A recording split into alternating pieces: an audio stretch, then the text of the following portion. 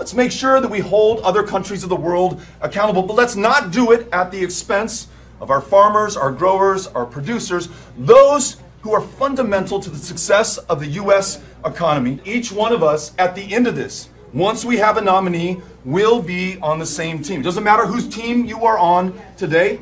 Doesn't matter which nom- which prospective nominee that you back right now. Ultimately, we all have to get on board the same person because it is fundamental to our chances of success that we defeat Donald Trump in 2020.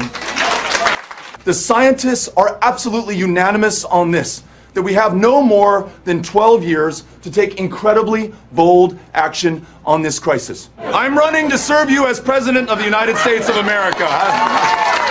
Thank you. Good.